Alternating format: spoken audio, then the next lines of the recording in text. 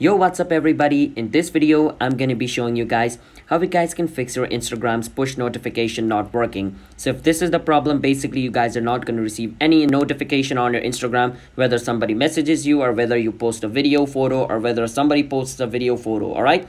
Now in this video, I'm going to be showing you guys how you guys can fix that problem. But before that, if you guys are new to our channel, One2Step, then don't forget to hit the like and subscribe to our channel, One2Step. For future videos just like this, let's move on. First step, you want to click on your profile picture at the bottom of your screen over here. Once you're on the profile, click on the three line at the top of your screen and go on versus setting. And on under setting at the top, you want to search for push. Once you search for push, it's going to show push notifications. Click on it and make sure pause all button over here is turned off. If it is turned on, then it's basically all of your notification is paused so make sure to turn it off and you can go to like the individual notification to check like which one is off so let's say i want to get notification for post stories and comment i can click on it and over here from everyone which means if somebody comments me i'm to get the notification. So for my likes from everyone is selected which means whoever likes my photo or video i'll get notification.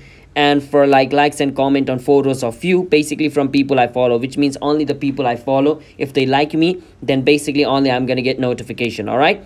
And if it is basically over here you gotta choose all these options so even after choosing all these options you're still not getting notification then you gotta go on your phone setting.